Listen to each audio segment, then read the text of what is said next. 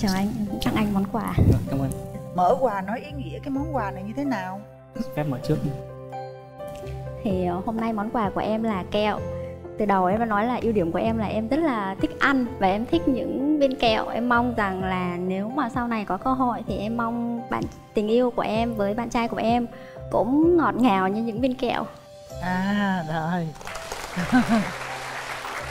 đến với chương trình hôm nay thì em có chuẩn bị cho bạn gái một món quà đó là một cuốn sách với tựa đề là tuổi trẻ hoang dại. Em muốn gửi tâm tư của em vào cuốn sách này. Muốn là bạn nữ là nếu có cơ hội có thể thì hãy thử tất cả mọi thứ ít nhất là một lần. Nhưng mà nó vẫn phải trong cái khuôn khổ của nhất định Ừ. là thử được làm những gì mình thích. Rồi, rồi. Mặt hai bạn về chỗ đi. Mình cảm nhận về à, người đầu tiên mới gặp người lạ ơi cảm nhận thế nào? Anh có cảm nhận gì về em không hôm nay bạn đẹp quá.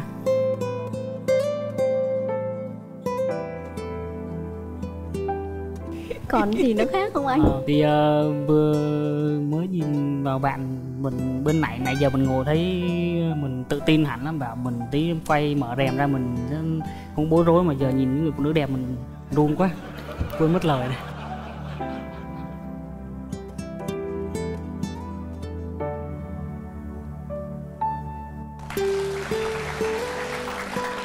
nay thì ờ, mình có một bài thơ, không phải là do mình tự sáng tác, nhưng mà cũng là mình sưu tầm rồi mình cũng có cải biến lại.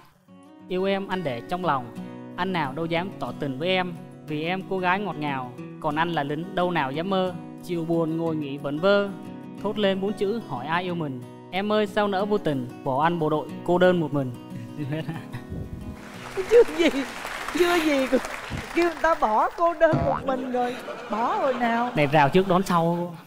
Bài thơ này như em chưa có làm gì hết mà anh bảo em bỏ anh. Thương đáp lại thương. Dạ thì em cũng mang tới một à, xin mời em trai giới thiệu về mình. Đầu tiên cho em xin phép gửi lời chào đến ờ, mc quỳnh linh và mc hùng vân và cùng toàn thể các ờ, khán giả có mặt trong trường quay ngày hôm nay.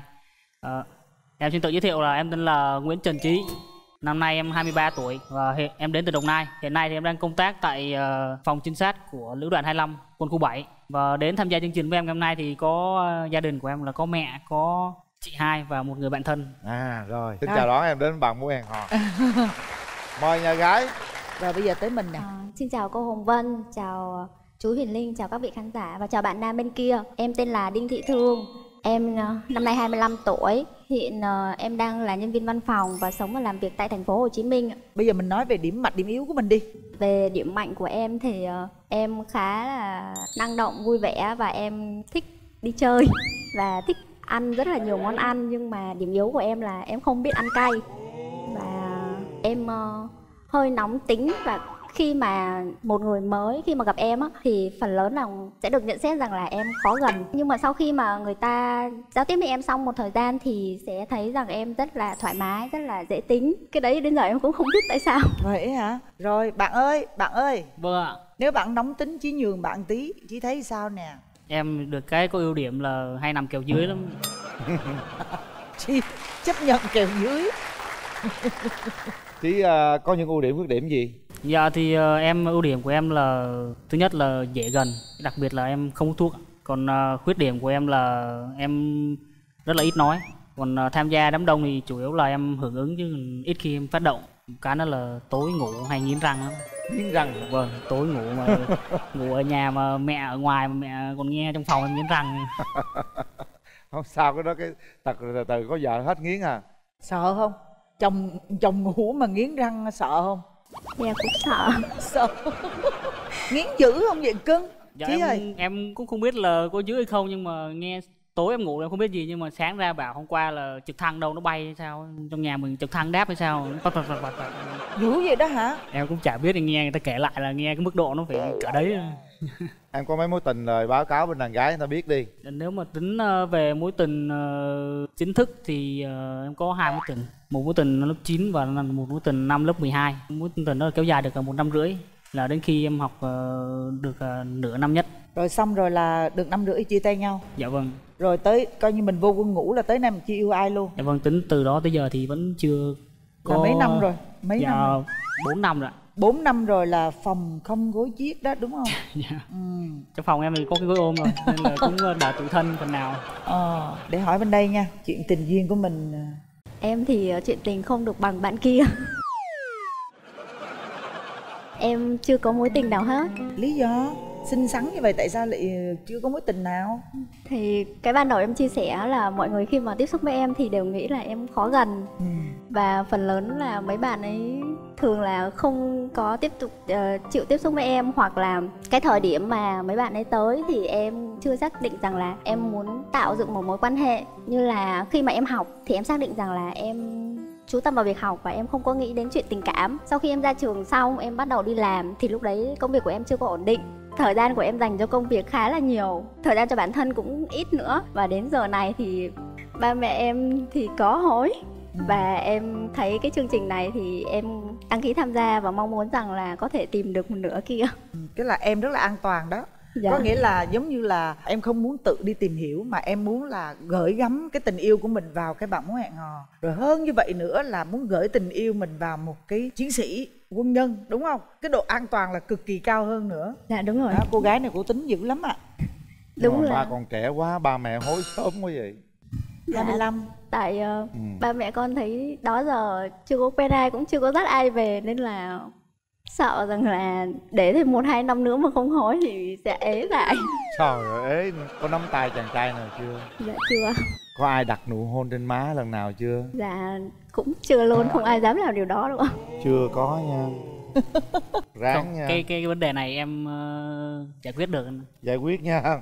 Triệt để nha quyết liệt. Rồi. bây giờ nè hỏi hình mẫu bạn trai của của em như thế nào? Thì em không có đặt nặng vào cái ờ, ngoại hình bên ngoài nhiều. Em chú trọng vào tính cách của người đó và cái cách ứng nhân xử thế đối với ba mẹ đối với người thân đối với người trên. Với cả em cũng chia sẻ ban đầu là tính cách của em nó không được ổn cho lắm nó còn chút của nét trẻ con. Và mong rằng là bạn nam sau này thì sẽ nhường nhịn em. Tức là em kèo trên đúng không? Bạn kia thì bạn chấp nhận kèo dưới rồi dạ. Đúng không? Dạ. Tôi rồi nãy nói chấp nhận kèo dưới không sao thì cả đó thì bởi thiệt buộc lòng bé này phải lên kèo trên thôi. Rồi bây giờ em trai là thích như mẫu hình như thế nào? Dạ thì ờ, về người bạn gái của em thì ờ, em cũng không quá đặt nặng về cái vấn đề mà ờ, ngoại hình. Cơ bản là cao độ từ một mét năm mươi ba. Cao hơn rồi đó. Thì từ một mét năm ba trở lên là được rồi. Đừng có thấp quá nhưng cũng cũng không cần phải cao quá. Không vậy thì ổn đó không đây cũng đẹp trai đây cũng đẹp gái. Hai đứa thấy cũng hợp lý đó. Bây giờ mình hỏi người thân coi làm sao nào. Em gái đi với ai vậy? Ờ, dạ hôm nay ờ, ba mẹ em không có đến được. Lý do là vì ba mẹ em là sống ở quê ở ngoài Bắc lận. Ừ. ngoài bắc rồi hả? À ngoài bắc Dạ. hả ở đâu? Dạ ở Hà Nam ạ. Hà nam, Hà Nam. Ừ. Dạ. rồi. Đại diện đây. Yên tâm Nhà gái đây. bà mối rồi ha. Ừ. tôi đây. Bà tính sao? Chừng Tôi nào thì- phải chừng nào cho đàn trai bước tới? Tôi thì tôi thấy như vậy. Cậu thanh niên bên đây là một người rất là có duyên ngầm. Ừ. đó là cái điều mà tôi nhận xét. Theo tôi nghĩ là trong công việc bạn đó cũng sẽ là một người rất là quyết đoán. Nhưng mà trong cuộc sống á, thì chắc có lẽ là như bạn ấy đã nói là bạn ấy sẽ nhường nhịn cái đối tượng mà bạn ấy yêu thương. Về phía nhà gái thì tôi thấy tôi đồng ý đó. Đồng ý nhà trai đồng ý chắc chắn rồi. Tôi đồng ý bây giờ đó, mình ừ. hỏi ờ, em đi với ai với mẹ đúng không? Dạ này đi với rồi mẹ. cho gặp à, bác gái. À mời mẹ.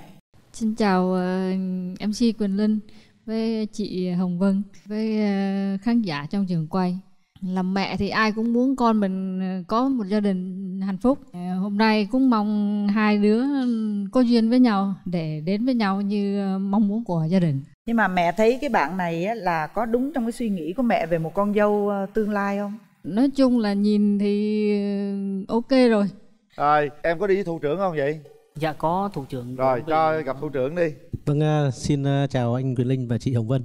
Thì hôm nay à, tôi đến đây với danh nghĩa là thủ trưởng của em Trí. Thì theo anh thấy rằng là bạn gái bên này rất thủy mị, rất nết na. Nếu mà cảm nhận đầu tiên thì cũng rất dễ thương. Và nếu như hai em mà xác định gắn bó với nhau thì đây cũng là một cặp đôi tương đối là hoàn hảo. Anh cũng chỉ biết là khuyên các em là hãy tìm đúng cái một nửa của mình và theo đúng cái con tim mình mách bảo. Xin cảm ơn. cảm ơn thủ trưởng mở rào. mở ra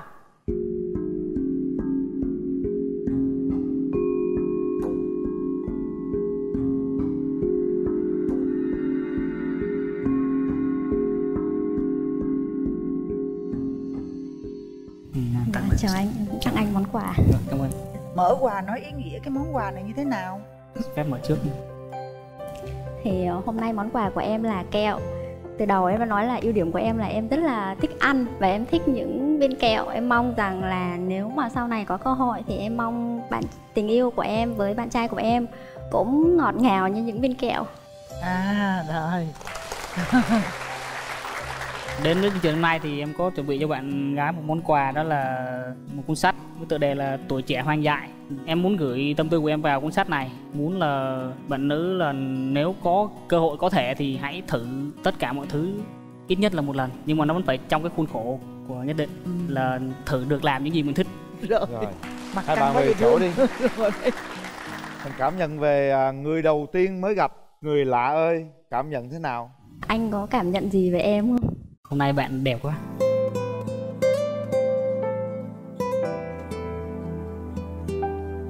Còn gì nữa khác không anh? Ờ, thì ờ, vừa mới nhìn vào bạn mình bên này nãy giờ mình ngồi thấy mình tự tin hẳn lắm bảo mình tí quay mở rèm ra mình không bối rối mà giờ nhìn những người phụ nữ đẹp mình run quá quên mất lời này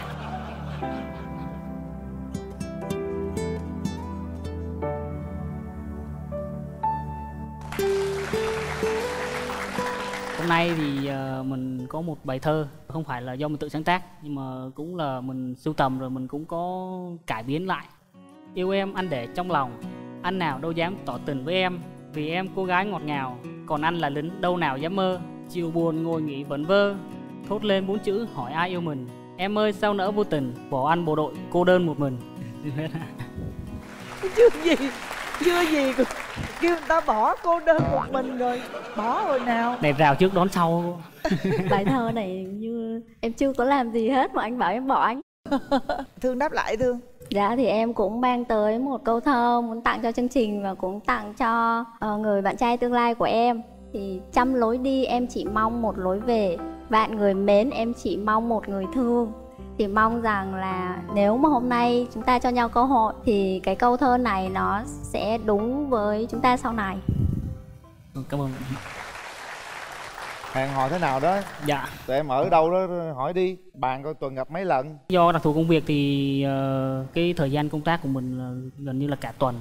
Nếu mà mình và bạn tiến xa hơn thì ờ, có thể là tranh thủ vào cuối tuần. Ý của anh là chủ nhật đúng không? chủ nhật hoặc là buổi tối thứ bảy thì ờ, cái khung giờ đấy thì ờ, lúc chắc đó là bạn là cũng không có vướng công việc nhỉ Dạ hiện tại thì em làm văn phòng nên là ngày chủ nhật em cũng rảnh. trong lần hẹn đầu tiên thì ờ, bạn muốn bạn thích là mình sẽ đi ăn xem phim hay là mình muốn mình đi đâu đó chơi Nếu mà anh cho em chọn á thì em muốn đi ăn. Cái đấy là sở thích của em. thì hồi nãy mình có nghe bạn chia sẻ là bạn không thích ăn cay Dạ em không biết ăn cay không luôn. biết ăn cay đâu Dạ. bạn có điểm chung của mình Dạ. anh có giỏi nấu ăn không? cái này thì chắc để học thêm chứ về nấu ăn thì Tại phần này em cũng không giỏi á. thôi không sao cái này về nên tự tập cho nhau cũng được tự tìm hiểu rồi làm chung cùng nhau cũng được quan điểm về tình yêu hai đứa thế nào đối với lại bạn thì ờ, theo bạn là độ tuổi bao nhiêu là phù hợp để kết hôn Thực ra độ tuổi phù hợp kết hôn thì cũng không có đặt nặng lắm. Em gặp được người phù hợp thì lúc đó kết hôn đấy là cái điều kết quả là hiển nhiên nó sẽ xảy ra và cái sớm muộn thì cái này là do một phần là về công việc, một phần là về ba mẹ và một phần là do bản thân hai bên có thể quyết định được không. Thì cái này em không có đặt nặng là bao nhiêu lâu là có thể kết hôn. Thì cái này là em mong là bên nhà trai sẽ quyết cho em. giả sử như sau này mà có mình có thể tiến xa hơn thì ờ, bạn có ngại cái việc ở nhà chồng không Em thì không đặt nặng vấn đề là con dâu mẹ chồng hay là gì đấy thì ở chăm sóc ba mẹ đấy là điều đương nhiên bổn phận của một người con dâu nên làm nên cái đấy là không phải vấn đề lớn đối với em.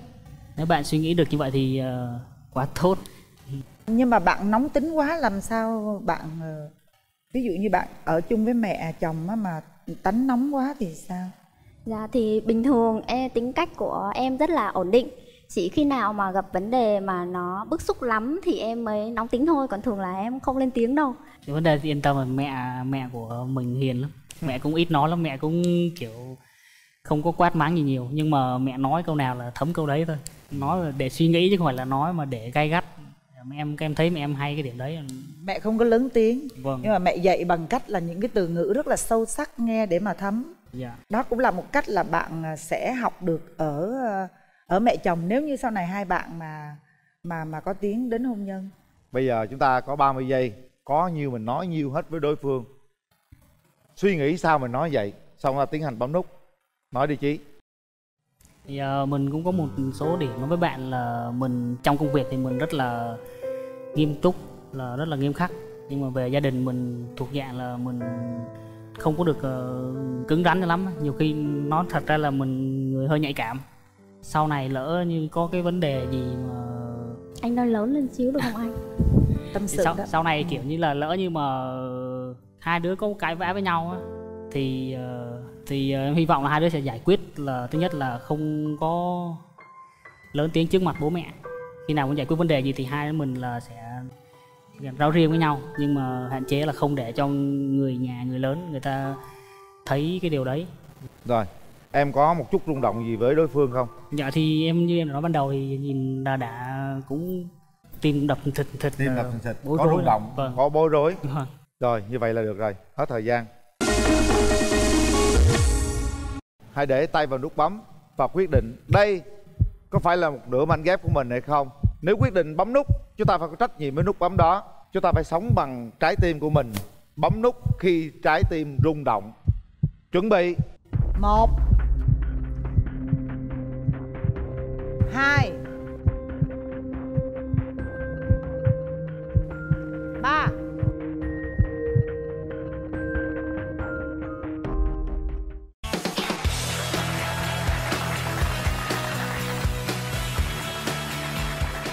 Cuối cùng thì hai bạn được nắm bấm nút nào, hãy nắm tay nhau. Chính thức các bạn đã hẹn hò với nhau. Nắm chặt tay nhau nào. Xin phép người lớn, xin phép thủ trưởng của mình cho tụi em hẹn hò với nhau và tụi em hứa điều gì đó trước mặt mọi người. Con uh, xin phép uh, các bác các anh các chị các cô gì họ hàng bên nhà bạn nữ. Hôm nay uh, nhân dịp có chương trình bạn muốn hẹn hò thì uh, đã kết duyên cho con với bạn được gặp nhau. Thì con cũng xin phép là mọi người là gia đình là cho con với bạn có thời gian để tìm hiểu. Sau này có thể là tiến xa hơn nữa. Thì con cũng mong là các bác uh, mọi người là ủng hộ cho tụi con con ờ, hứa là sẽ ờ, quan tâm chăm sóc và bảo vệ ờ, cô gái của mình. Nhớ cổ tên gì không? Dạ tình thương. Tên thương đúng nhớ không? rồi ạ. Thương còn điều gì muốn nói với mẹ với lại à, thủ trưởng không? Dạ thì hôm nay đến với chương trình thì con mong rằng bác và thủ trưởng sẽ ủng hộ cho hai bạn trẻ có thể nào đi đến một cái kết sau này nó tốt đẹp hơn. Con đến đây thì mong rằng là cả hai bên gia đình đều sẽ đồng ý cho con và bạn cùng tiến xa hơn. ạ. Dạ con cảm ơn. được rồi rồi nào đặt nụ hôn đầu tiên nào trời ơi đây gửi quà lấy của bạn những chiếc vé xem phim của cụm rạp Cinebox 212 lý chiến thắng gửi tặng các bạn chúc mừng các bạn đã tìm được một tri kỷ tiềm năng để tình cảm thêm tiến triển sớm tiến tới gắn bó lâu dài. Các bạn hãy gọi điện nhắn tin gọi video cho nhau thường xuyên qua ứng dụng Mocha nha. Đặc biệt khi vừa chat vừa cùng nghe nhạc trên Mocha thì dù cách xa mấy cũng thấy như đang ngồi gần đó. Chúc các bạn hạnh phúc nha. Dạ, Dạ. chào mọi người. Ạ. bé mặt dễ thương vậy chứ gì ai nói là gì không dễ gần vậy trời